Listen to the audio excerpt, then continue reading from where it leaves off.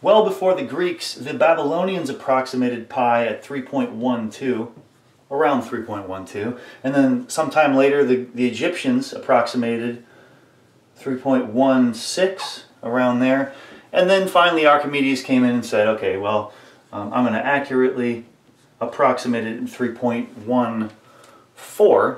Now, what they were not able to do was to conceptualize the fact that, that uh, just adding more sides to a regular polygon would never get you to the end, would never make it line up fully with circumference. They lacked the ability to understand that you would need a regular polygon with infinite sides.